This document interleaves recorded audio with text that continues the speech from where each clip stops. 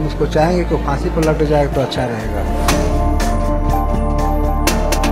फ़िलहाल तो हम अच्छा कहेंगे, क्योंकि तुरंत फैसला नहीं दिया जाता। उस पर फिर भी विचार करना होगा कि आखिर हमने जो फैसला देना है तो हमें क्या करना चाहिए। शुरू से ही मैं कह रहा हूँ कि वो उसके अंदर कोई गिला शिकवा नहीं है कि उसको अपने करने का कोई पश्चाताप नहीं है कि नहीं, हमने ऐसा किया तो हम माफ़ी मांगते हैं चाहे कुछ भी।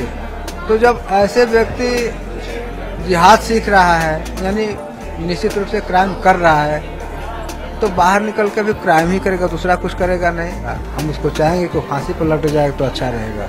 अगर क्राइम की कोई उम्र नहीं है, महिला के नाम पे दो साल की बच्ची हो या साठ साल की बुढ़िया तो इसी तरह सजा की भी उम्र नहीं होनी चाहिए। अगर हमारे कानून में ऐसा कोई प्रावधान नहीं है तो उसको जल्द से जल्द लागू होना चाहिए। अगर इतना क्राइम करने के बावजूद ये लड़का बाहर आता है तो हम एक अपने उस उम्र के बच्चों में ये संदेश दे रहे हैं कि बच्चों, तुम कुछ भी 18 साल से पहले कुछ भी कर सकते हो, किसी के साथ भी तुम्हें कोई सजा नहीं।